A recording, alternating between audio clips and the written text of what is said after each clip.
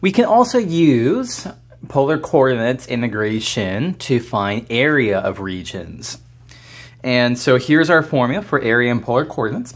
The area of a closed boundary region R in the polar coordinate plane is find the area by doing the double integral over R of R dr d theta. And so let's just point out here that this formula makes sense here.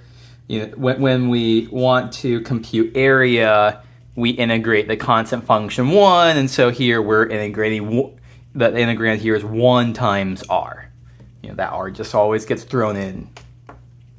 Uh, so, so, so, this is our formula. before, we'll do some more complicated examples with this formula in future in, in our follow-up video to this.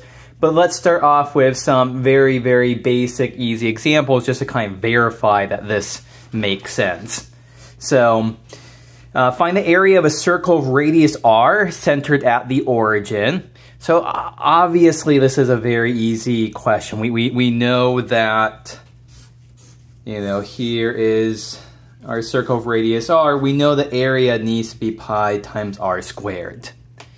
But let's solve this problem using polar coordinates uh, integration and we'll see that everything checks out.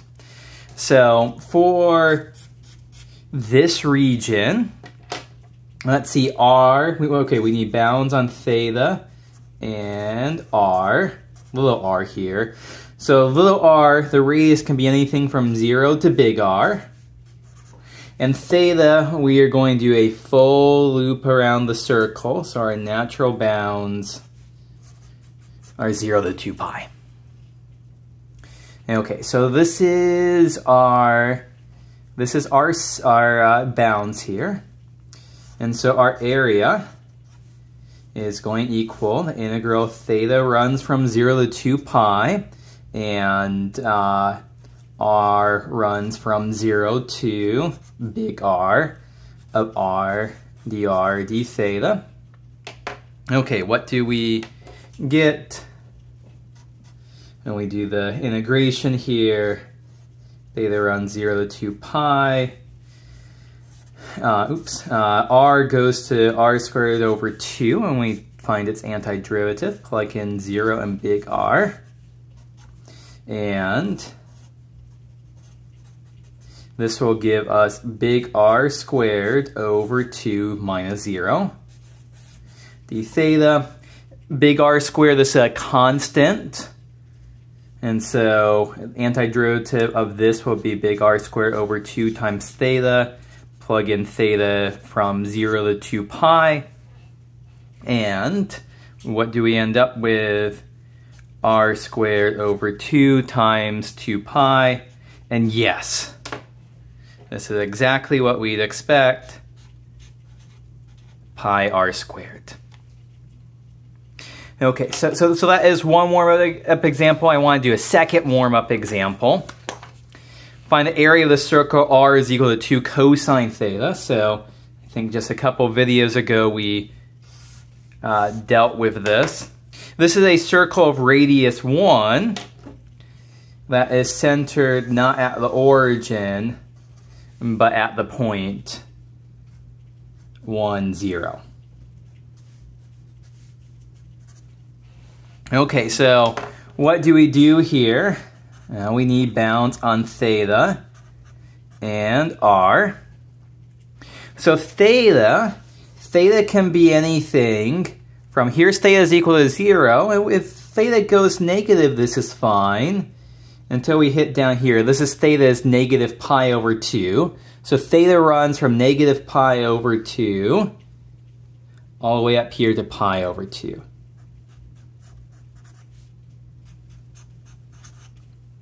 Okay, r, how about r? So for a fixed value of theta, the smallest r can be is 0. And the biggest R can be here is when we hit this circle out here, and this is R is equal to 2 cosine theta. So, okay, uh, our area using this formula right here, we're going to integrate theta runs from negative pi over 2 to pi over 2. r runs from 0 to 2 cosine theta of r dr d theta. Okay, uh, what happens now? We end up with, uh, we end up with theta, okay, we still have this here, negative pi over 2 to pi over 2. And then antiderivative r is r squared over 2. Plug in 0 and 2 cosine theta, d theta. Okay, uh, this is going to give us theta from negative pi over 2 to pi over 2. When we plug in 0, let's just subtract out 0. Plugging in 2 cosine theta will give us 2 cosine squared theta d theta. So all we have to do now, let me just recopy that.